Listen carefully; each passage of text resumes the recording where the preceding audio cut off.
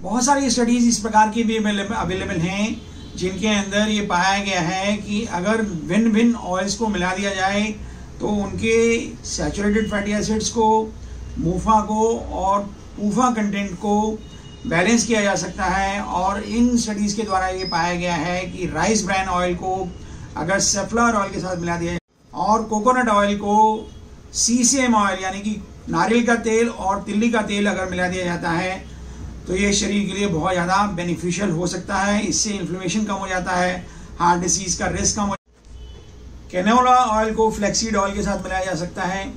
इस प्रकार करने से जो टोटल एलडीएल है वो कम हो जाता है एस बढ़ने लगता है टोटल कोलेस्ट्रॉल कम होने लगता है ट्राइगलसाइड्स कम होने लगते हैं और ओवरऑल जो है हार्ट डिसीज का रिस्क कम होने लगता है। फैटी एसिड जो है वो एलडीएल को कम करते हैं। और साथ में गलती से वो एच को भी कम कर देते हैं। अतः ये जो ऑयल्स हैं, जैसे कि सेफ्लोर ऑयल कैनोला ऑयल या सनफ्लावर ऑयल इन सब के अंदर पॉलीअनसेचुरेटेड फैटी एसिड ज़्यादा होते हैं।